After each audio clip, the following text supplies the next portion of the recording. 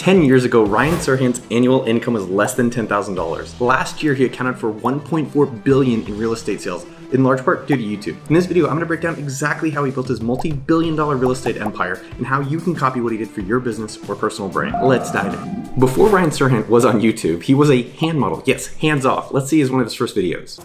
Uh, I mean, I'm like anybody else. You know, I sleep with gloves on.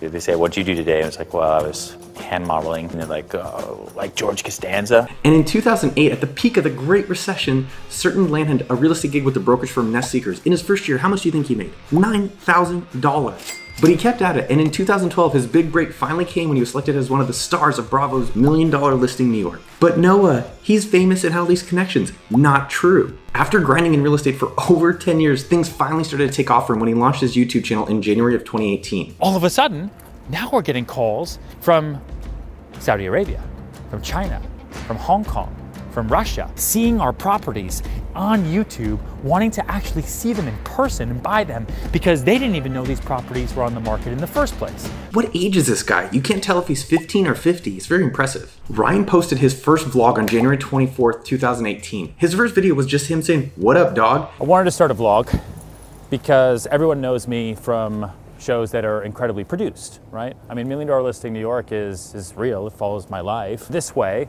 I can give real live content, show people what my days are really like in rapid speed. Since then, he's uploaded every single week since and now has over 1 million subscribers. So how did Senior Serhant get all these amigos, aka subscribers, and how did he use YouTube to drive this money to his business? The Ryan Serhant model of success. So Ryan's aha moment came early in his career after realizing his real estate success was directly tied to his personal brand. And this can apply to any career, not just real estate. So in 2018, Serhant created his own entertainment and media company called the Serhant Media Group, pumping out weekly vlogs that showed behind the scenes footage of his professional and personal life. One year into vlogging, he was seeing some nice traction, but nothing really started to pop off until one of his videos went viral. Let's see it. Trainer, you have everything, the best of the best.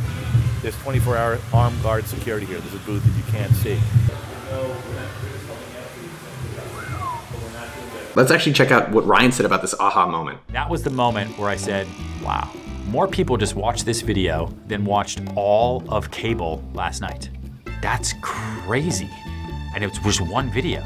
Like people spend all this money to create TV shows and all this advertising and all of that. And I just went and filmed the property and 12 million people watched it? So really, really fascinating. I think one of the key things to just highlight here is that he was doing it for a year with not a lot of bangers, and then finally after a year something started happening. So stick with it, do the law of 100. We'll talk about that more at the end. So how Ryan actually runs his YouTube channel is even more impressive. Let's dive into a few of these things. First off, showing is greater than telling, aka virtual property tours at scale. People love watching tour mega mansions, and this guy toured everything from a $188 million mansion to a $7 million closet. So personally, I love Architectural Digest YouTube channel. If you guys have not watched it, highly recommend it. It's kind of seeing behind the scenes of all your celebs and their styles and who they are. This is compared to like HGTV, which is like random ass people. What if you could see your celebs' house? houses? So cool is that? So I know you might be thinking, cool story, Noah, but uh, my business isn't flashy as this million dollar listing guy. It does not matter. The point is to experiment with YouTuber content and sharing yourself until you find a format or a series that people are interested in watching. Let's give you two examples. So if you have a barbecue restaurant or a Vietnamese restaurant,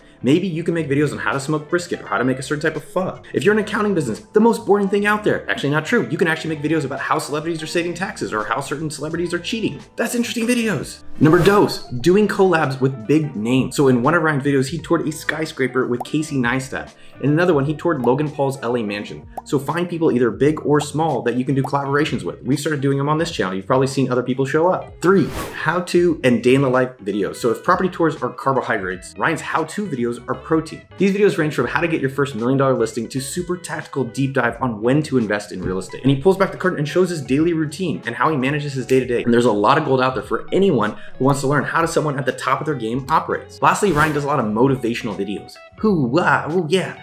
And I know you guys might think that's rah rah for my taste, but Ryan shares it in a way that I feel is very grounded and very real. So how is this actual YouTube strategy paying off? By leveraging his channel, Ryan is actually able to sell and rent out his properties at scale. And this is genius. Really think about this. He goes and films houses that he's gonna try to sell anyways. He gets a bunch of followers and YouTube content, plus those people actually end up buying from him. He's also gotten crazy leads, people buying million dollar places just from watching YouTube, just like you. So think about this. How many real estate agents are out there?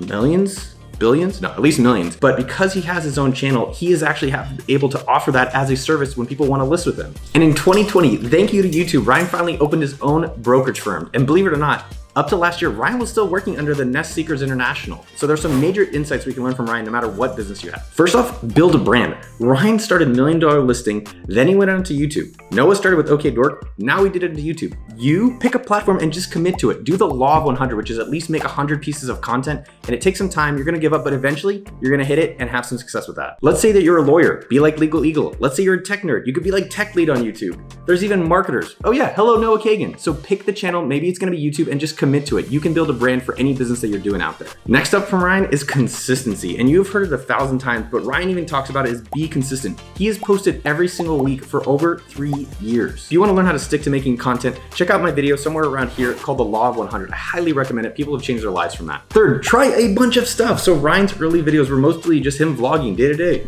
Oh, I'm gonna have some coffee. He didn't actually struck gold until he finally tested one video a year into the whole experience. So with this channel, we've had the same experience. We have done this channel for a one year full time. And a lot of videos were like me shirtless, us walking around. And finally we did a video on business ideas and how people got rich and they started working. So find something that you're excited about and commit to it for at least 100 videos. Collaborations, oy vey, let's come collaborate together in the comments section. Make sure you go do that down below. You don't need big names to go collaborate with. Just find people who are in your space, ideally smarter. I call it fire approach, which is basically start with Kindle, so you start with small things and you build up, just like how you start a fire. On our channel, we've had some amazing, gorgeous collabs. We've had Ali Abdaal, we're gonna have Spencer Cornelia, and other YouTubers just maybe like yourself in the future. So this works for content creation or frankly any business. Go partner up with people and cross collaborate. If you like this video, you are gonna love this video right up here where I talk about how Mr. Beast made over 700,000 a month selling burgers. And if you haven't already, make sure to subscribe to the channel and hit that notification bell so you don't miss any of our weekly office hours where I help you with your business questions and giveaways. I gave away my Tesla a few months ago. I love you and I'll see you out there. Amen. Пух.